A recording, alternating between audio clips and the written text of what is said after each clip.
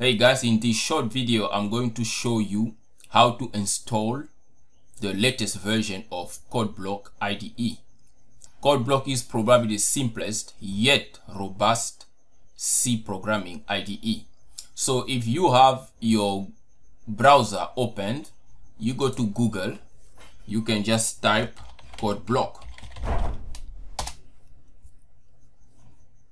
And then you will have the first option here that will shows up. Then you click on download. Then when the downloads page open you click on download the binary release. When that page open you comes down to this section. Okay this installation is for Microsoft Windows either on your laptop or your desktop computer. But if you have a Linux you have to go into one of these options. But I'm doing for Microsoft Windows. So you come to these options here you have to select option 4 that is version 20.03 which come with the GCC compiler. Now you can choose to download it in either one of these two websites I'm going to go for sourceforge.net so you click there and that's going to pop up a new page and automatically it will start downloading your IDE and here is the IDE downloading so it's about 145 megs. And depending on how fast your internet speed is it's going to download in less than a minute. Once complete you can either go in the folder where this file is located or you can just click on it. And if you click on it the file will open up once the file open up you click next.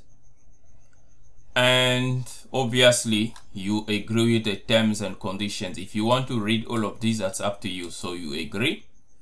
And then next. And then there is a location where it's going to install. It's better you leave it in that location. Don't change it. And then you say install. Then depending on the speed also of your machine this will take a couple of minute if not less than a minute to install. Just give it a chance to complete. Mine took about two minutes to complete. Then right before it's complete it asks you do you want to run code block now? Then you just say yes. And it's going to complete the installation. Then you click next and finish and it's starting code block already because you accepted if you want to run code block now. Then you give it a chance to start up. Once it's done starting up you're going to have this page right here. Then you can just click on create new project to test that it's working. Then you're going to create a console application project. Then you select C programming you can also select C++ if you want a C++ program. Then you click next. Then you can choose a folder where you want your project to be stored. So mine is in this drive here. And then you can just give your project a title. Test. And then just say next. Now you can see the compiler is already built in. You don't have to select another one. It's already a gcc compiler then you just say finish. Leave the options as they are and say finish. Then it's complete and you can come over here and click on mens there is your first program printing hello world with the printf function. You can zoom it so you can see properly. Then just to test run it and then boom hello world.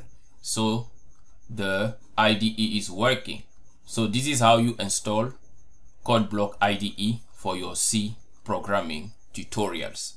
Thank you for watching.